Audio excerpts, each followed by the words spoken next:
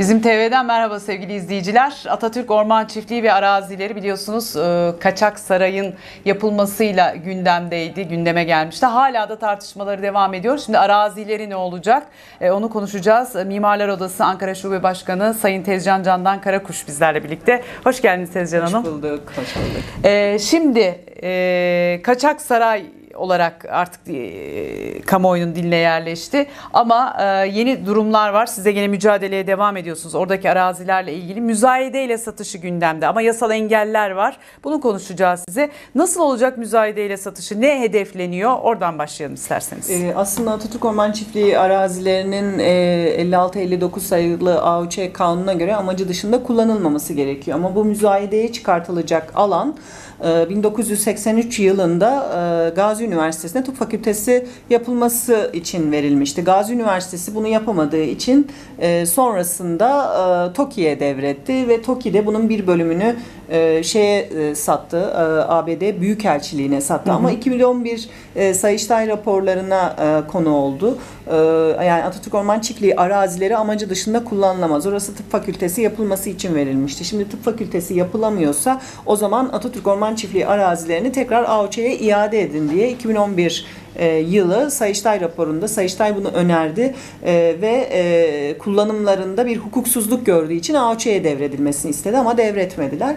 Sonuç itibariyle hülle yoluyla şu anda TOKİ'ye geçmiş durumda ve TOKİ bu arazilerin e, ada parsellerini değiştirerek çünkü şu anda çok önemli yerdeler tam Çukurambar'da e, bulunuyor araziler e, rant açısından baktığınızda da çok büyük e, bir e, rantı var. Dolayısıyla bunu açık artırmayla e, 5 Eylül'de satışa çıkartıyor. Bir kere bu hukuksuz çünkü e, Sayıştay bunları devredin diyor. İkincisi Atatürk Orman Çiftliği arazisi olduğu kaynağında e, o olduğu çok net zaten tapu kaynaklarında geriye doğru gittiğinizde pasif tapularında da bunu görüyorsunuz Atatürk Orman Çiftliği arazisi olduğunu. Dolayısıyla e, Mustafa Kemal Atatürk'ün halkına emanet ettiği ve hepimizin olan bu alanların müzayedeye söz konusu bir satışla gündeme gelmiş olması bir kere utanç verici ve e, hem Atatürk'ün vasiyetine hem de şartlı bağışına ihanet edilmiş durumda. Dolayısıyla biz bunu hem hukuksal sürece taşıyacağız e, hem de pazartesinden sonra başkent dayanışması demokratik kitle örgütleriyle birlikte e, bu durumu protesto etmek için e, bir eylem planı oluşturacağız. Peki e, nasıl bir kılıf uyduruldu buna? Daha hani anlaşılabilir olması adına biraz daha açabilir e, miyiz? kılıf şu, e, hülle yoluyla. Bu aslında Medipol'e devredilen alanla da ilgili bir şey. Atatürk Orman Çiftliği'nden alındı. e, Gazi Üniversitesi'ne verildi. Ne için verildi? Bir hedefle. Kamu yararı bir devlet üniversitesi, tıp fakültesi yapılsın diye.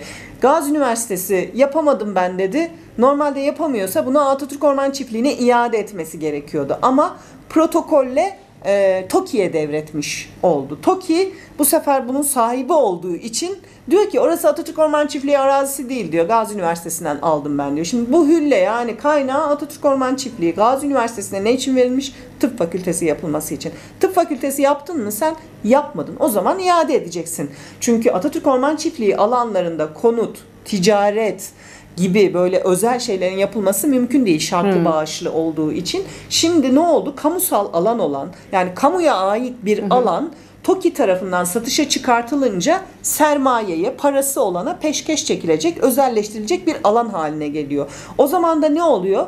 Atatürk Orman Çiftliği arazisi el değiştire değiştire tahsisler ve devirlerle birlikte özelleştirilmiş oluyor.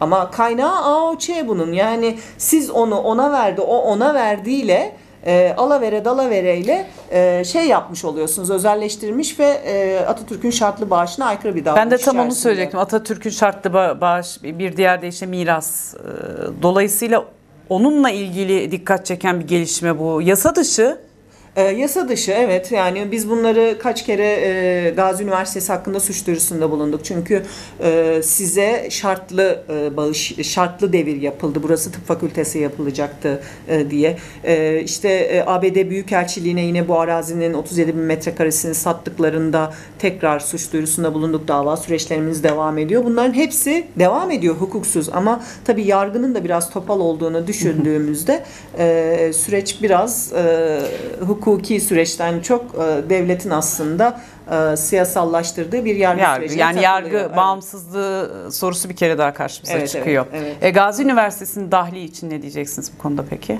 Yani Gazi Üniversitesi bir kere çok büyük bir yanlış yapmıştır. Kendisine verilen arazilere e, tıp fakültesi yapmayıp üstelik de şöyle bir şey 1983'te verilmiş Gazi Üniversitesi'ne ve bunun parasını Gazi Üniversitesi ödeyememiş Atatürk Orman Çiftliği'ne ve bu arazilerin satışa çıkacak arazilerin bir kısmını e, Gazi Üniversitesi tekrar AOÇ'ye vermiş sonra tekrar almışlar. Fakat bu yine Sayıştay raporlarına e, konu oldu. E, parayı Gazi Üniversitesi ödememiş aslında e, almak için. Parayı e, Kuzu Toplu Konut e, diye bir e, holding e, ödüyor. Ödedikten sonra Gazi Üniversitesi adına ödüyor ve sonrasında da e, Gazi Üniversitesi bunu e, arazisi olarak işte tıp fakültesi yapmak üzere kendi mülkiyetine geçirmiş oluyor. Fakat bu arada TOKİ e, toplu konut alanı ilan ediyor orayı. Konut ticaret alanını açıyor. Dolayısıyla Kuzu Toplu Konut, Türkerler İnşaat, Renk Yol İnşaat gibi e, kurumlarla, firmalarla da sözleşme Bildiğimiz imzalıyor. firmalar. Ben burayı alırsam diyor size vereceğim. Siz yapacaksınız. Çok kaba olacak belki ama al gülüm ver gülüm. Aynen öyle. Evet. Yani Atatürk Orman Çiftliği alanını e, peşkeş çekmek için perde arkasında dönen bütün olaylar e, Sayıştay raporunda 2011'deki Sayıştay raporunda ortaya çıkmış durumda. Bunun üzerine suç duyurusunda bulunduğumuzda da yine yargının bağımsız olmadığı sürecini bir kez daha görmüş olduk. Şöyle diyebilir miyiz e, buna hülle dediniz. Hülle yoluyla Atatürk'ün mirası Atatürk Orman Çiftliği talan ediliyor. Aynen öyle, aynen öyle. Hülle yoluyla, devirler yoluyla, tahsisler yoluyla talan ediliyor. Aynısını e, Medipol'e verilen 555 bin metrekarelik alanda gördük. Orası Atatürk Orman Çiftliği alanı, e, birinci doğal, derece doğal e, sit alanı ve ağaçlandırılacak alanken işte birinci derece doğal sitten çıkartılıyor. Oradan milli savunmaya veriliyor falan derken e, sonuç itibariyle çıkıyor.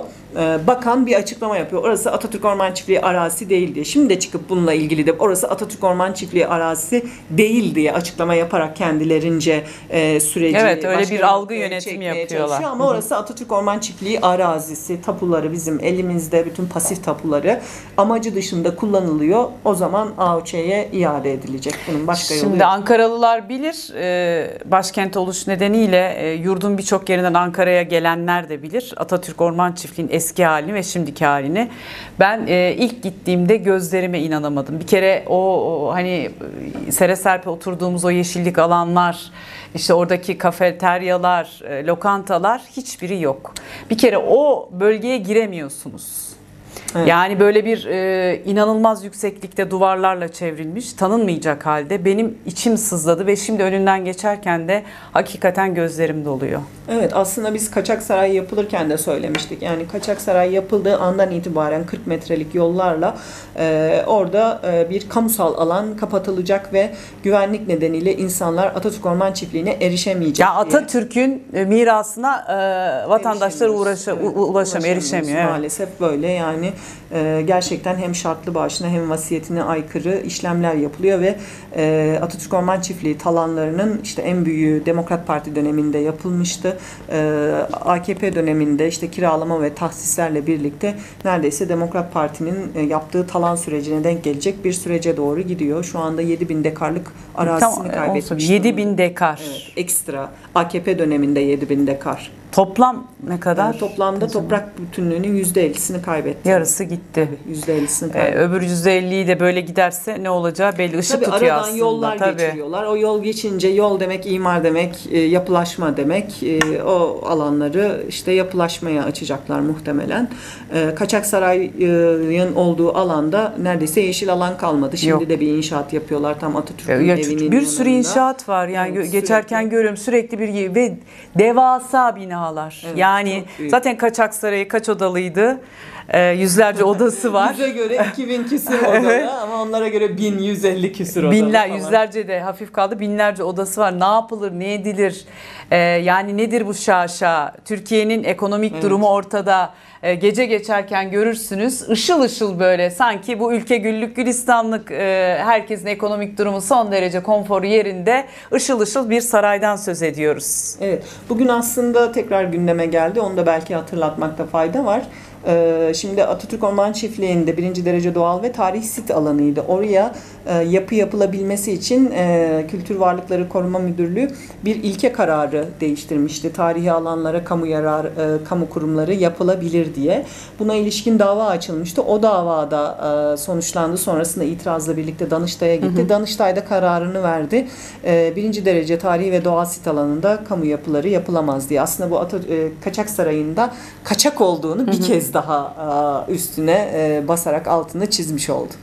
Ee, Birçok yönüyle konuşuyoruz. Sizin e, özellikle bu konudaki çalışmalarınız hem ismen hem kurumsal olarak e, çok ses getiriyor Tezcan Hanım. Dolayısıyla vatandaşların bu konudaki duyarlılığı da çok önemli. Size gelen tepkiler neler? Tabii bize gelen tepkiler şöyle hani daha e, Atatürk Orman Çiftliği tabii bir kamusallaştı. Kamuoyuna yansıdı onun değeri, e, ulusal bellek değeri, Atatürk'ün vasiyeti, şartlı bağışı, cumhuriyet değerinin simge mekanı olması. E, ama yeterince e, bir tepki hani kamusal bir tepkinin gösterilemediği e, noktada ama bu insanlar da bu konuda vicdan azabı e, çekiyorlar.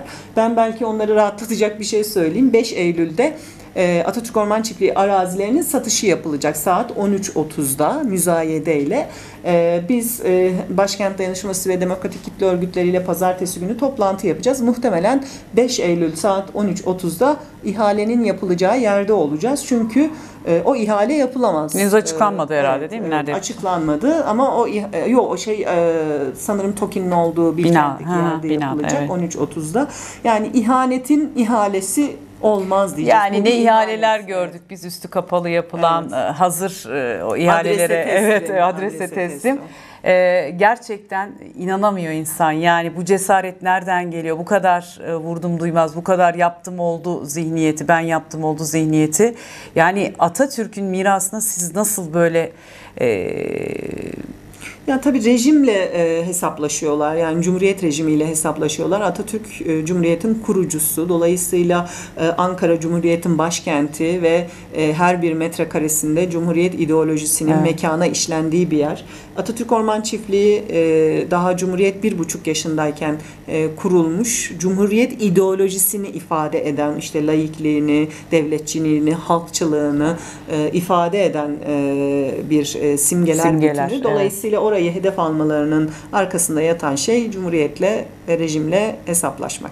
O gün de sormuştuk yine hatırlatmakta fayda var. O kaçak sarayı e, ben hala öyle görüyorum. E, yapacak başka yer mi yoktu? Yani bu kadar büyük alana ne gerek vardı? Ya- bu kadar büyük yapılara ne gerek vardı? Tabii ki bu bunlar şöyle bir şey. Hani e, büyüklüğü mekanın büyüklüğünde arıyorlar. Oysa Cumhuriyet ilk kurulduğunda e, dünyanın bütün liderlerini küçük bir köşkte karşıladı. Yani bu ne kadar büyük bir e, devlet adamı olduğunu ve ne kadar büyük bir devlet olduğunuzu e, mekanla ölçemezsiniz. Ama yeni dönemin işte bu özellikle AKP'nin gündeme getirdiği böyle büyük, en büyük, Avrupa'nın en büyüğü, dünyanın en büyüğü, hastanesi de, pastanesi de, postanesi de, sarayı da, limanı da, bunların havalimanı da hepsi de e, böyle bir şaşayla yapılıyor. Aslında bu bir taraftan da neoliberalizmin bu büyük kavramıyla e, ortaya çıkan e, bir e, durum.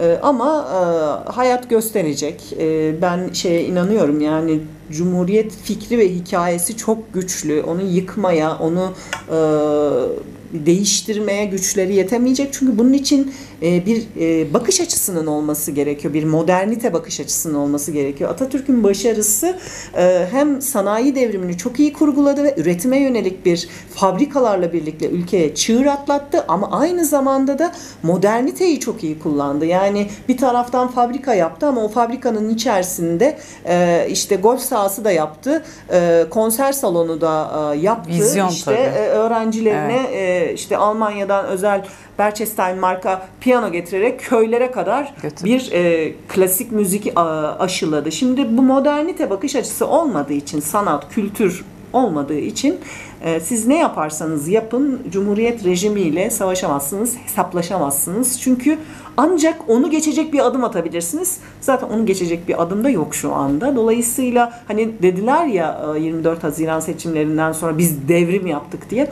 Devrim öyle yapılmaz aslında. Yani bu bir baskın bir e, yok etme yaklaşımıyla geldi. Devrim kültürle yapılır. E, kültürde AKP'de maalesef yok. Yok.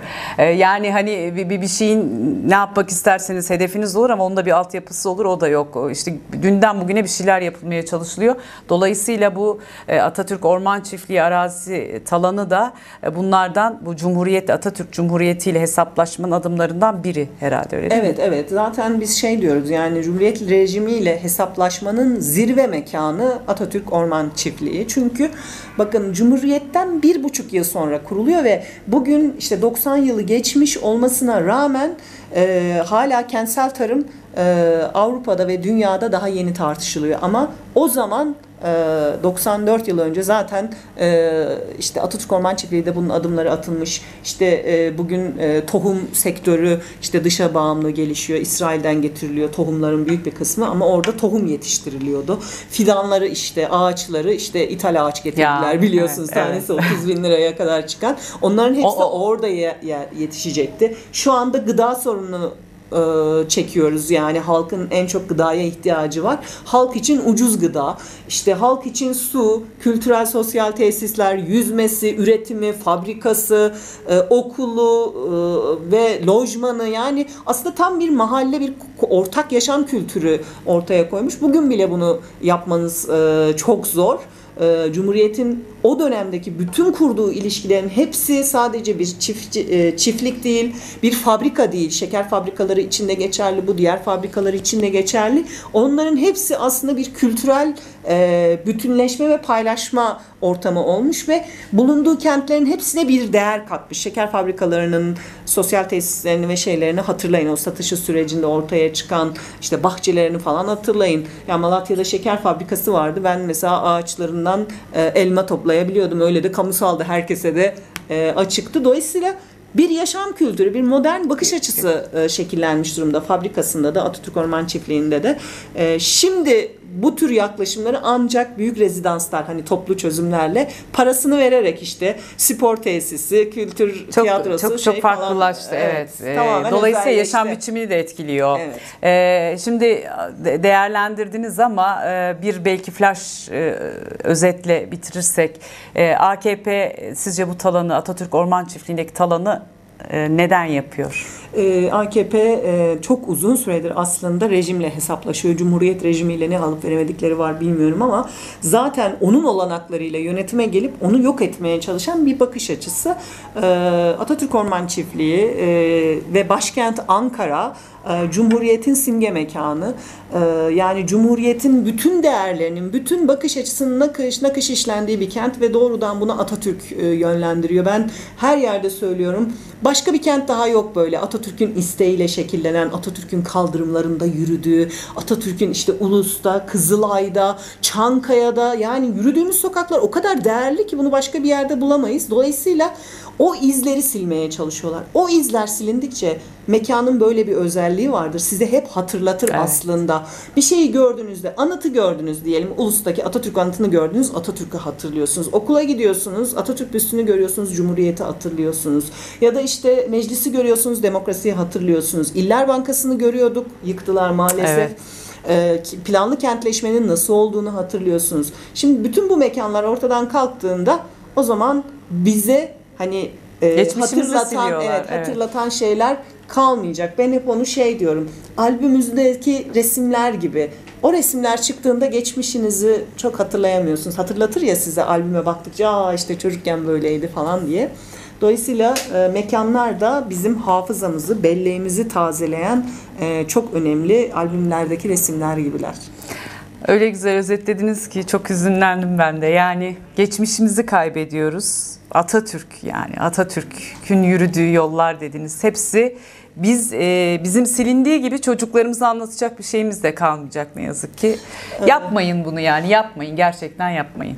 Ben yapacaklı, yapabileceklerini düşünmüyorum gerçekten. Artık hani çok zarar verdiler ama bunların telafisi e, mümkün olmayan zararlar da verildi. Ama istenirse, kararlı olunursa e, ben bu sürecin çözülebileceğini, Atatürk Orman Çiftliği'nin yeniden özgürleşebileceğini ve Mustafa Kemal Atatürk'ün bize vasiyetine ve şartlı bağışına uygun e, bir üretim alanına dönüşeceğine inanıyorum. İnanmazsak zaten mücadele etmeyiz.